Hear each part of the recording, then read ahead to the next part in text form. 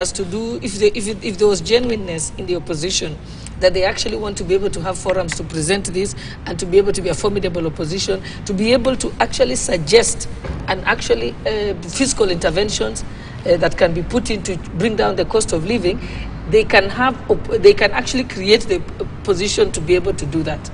But they are not genuine. If they were genuine believe me we would they would have sharpened the cabinet ministers. They, and in fact actually in parliament also according to the standing orders you're allowed to create a caucus Yes.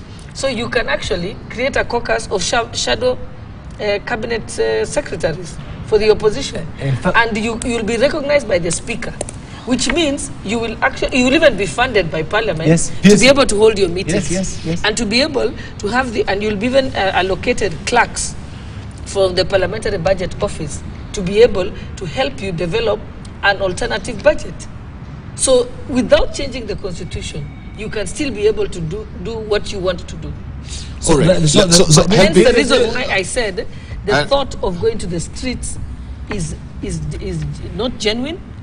It is uh, deceptive, and it is disruptive, and it is uh, it's it's just being used to try and uh, disrupt government. Right. Let, let me If I- let, if let me just drop in a Makali and ask No, my, Makali. my, my just- conclusion on the on